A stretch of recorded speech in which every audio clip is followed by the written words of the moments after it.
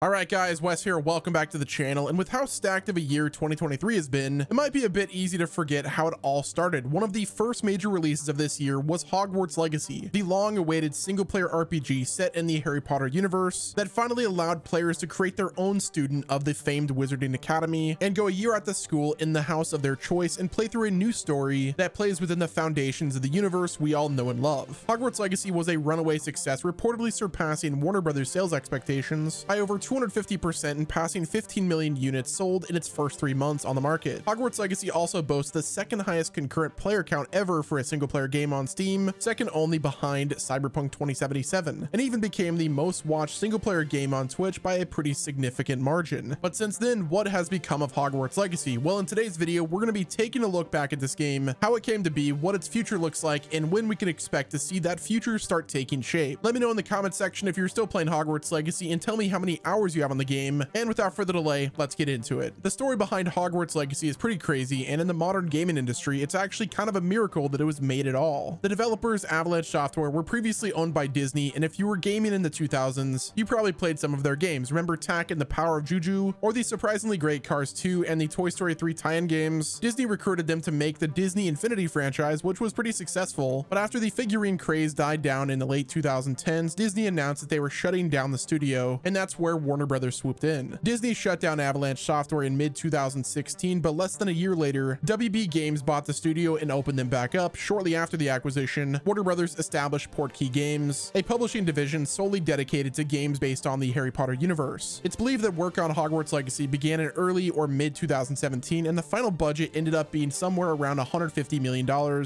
making it one of the more expensive games to come out recently. From the start, the team wanted this game to be totally unique and not have any impact on the established story storyline of the story, but still fit comfortably within it, allowing fans to have the Hogwarts experience they always dreamed of while watching the movies or reading the books. Certain characters from the franchise make appearances, and there are a handful of references to others, but the story of Hogwarts Legacy was always intended to be something that stood on its own and added to the universe rather than as a reinterpretation of it, and I think that's one of the reasons why it was such a big success. But for a studio that was Avalanche's size, it was an extremely ambitious project, and thankfully Warner Brothers was willing to give the team all of the time and funding they needed to get the job done right, which was a very good thing since it wouldn't be long before the delays started. Development footage of Hogwarts Legacy was leaked all the way back in 2018. I actually made a video on the same day that it was leaked, but it wouldn't be until 2020 that the game was officially revealed. Hype was through the roof for its 2021 release, but obviously the team didn't end up hitting those deadlines. The game was publicly delayed multiple times and a number of industry insiders reported that there were even more behind the scenes delays that we were never even told about. Ultimately, the release date was pushed back to February 2023 for the PC Xbox Series, and PS5 versions, while the Xbox One and PS4 needed even more time in the oven, with the Switch version not even out yet. While the exact reasons for all of the delays haven't been confirmed by the team, it's believed that they stemmed from the insane size and scope of the game, as well as a number of technical difficulties that came from having to develop a game of this size for both the 8th and 9th generation consoles. It's also been revealed through data mining that there was going to be a ton of additional content and mechanics in Hogwarts Legacy that ended up being cut before they were completed, likely due to time constraints or just change in direction. For example, the RPG mechanics were originally going to be much deeper, and there would have been things like companion systems and possibly even romance options. But obviously those mechanics didn't make it to the final build of the game, possibly due to deadlines, but also possibly so the final experience could be something less oppressive to casual gamers, which ended up being the right financial decision for Avalanche Software and Warner Brothers Games. Although I'm not the only one who would have loved a deeper and more traditional RPG experience in this world. Despite all of the setbacks and compromises, Hogwarts Legacy was a massive success and was definitely worth all of the time and money that Warner Brothers put into it. Again, the budget was estimated to be somewhere around 150 million, but managed to break $1 billion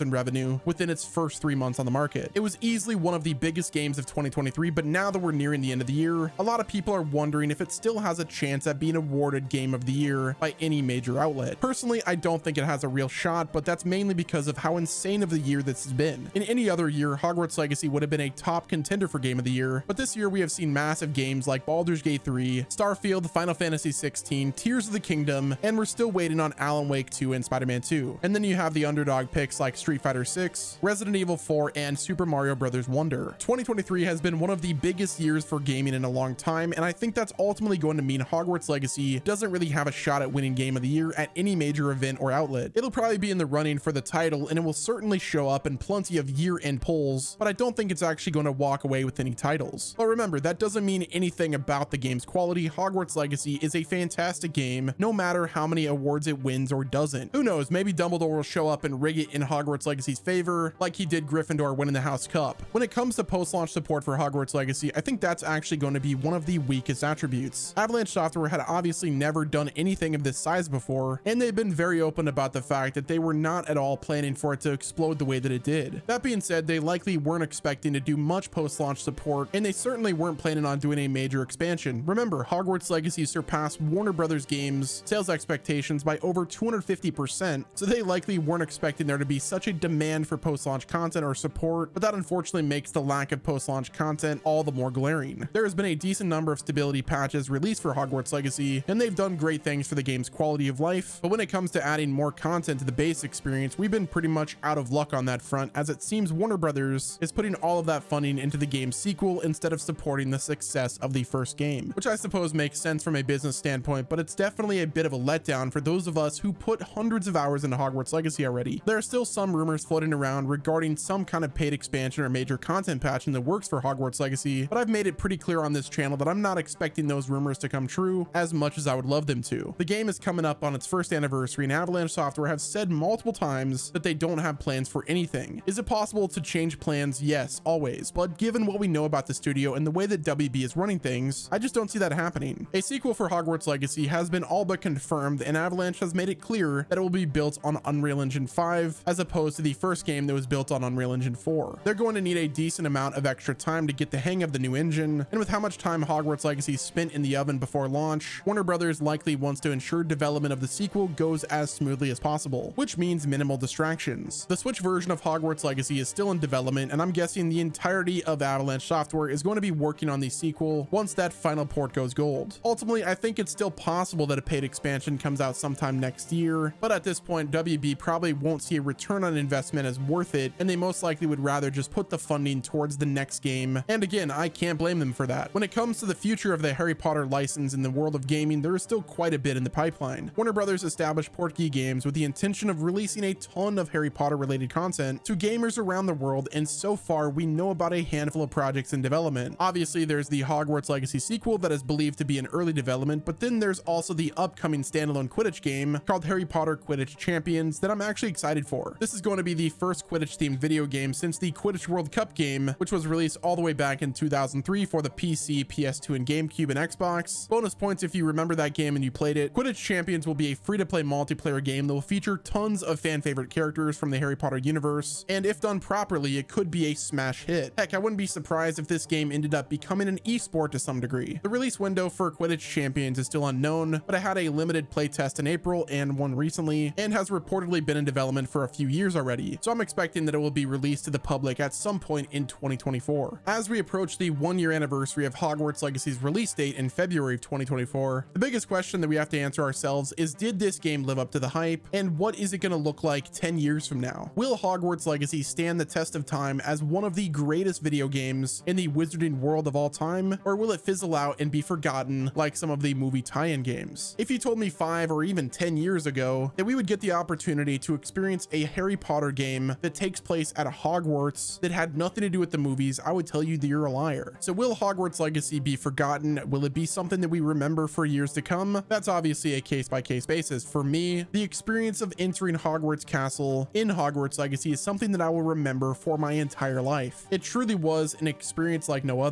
And eight months later, I still think about this game every single day and I still boot it up just to fly around on my broom and on a magical beast. So yeah, I don't think I'm gonna forget about Hogwarts Legacy anytime soon. And the countdown until Hogwarts Legacy's sequel has started. But what do you guys think about the state of Harry Potter in gaming? Do you think Hogwarts Legacy has a shot at game of the year? Or do you think it's gonna be overshadowed by some of the other heavy hitters of 2023? What do you want from the Hogwarts Legacy sequel? And is Hogwarts Legacy a game that will be remembered or will it be forgotten? That's gonna wrap it up with this video, guys. Do me a favor, leave a like if you enjoyed it, subscribe to the channel with your notifications turned on. And until next time, this has been Wes, and I will talk to you guys in the next video.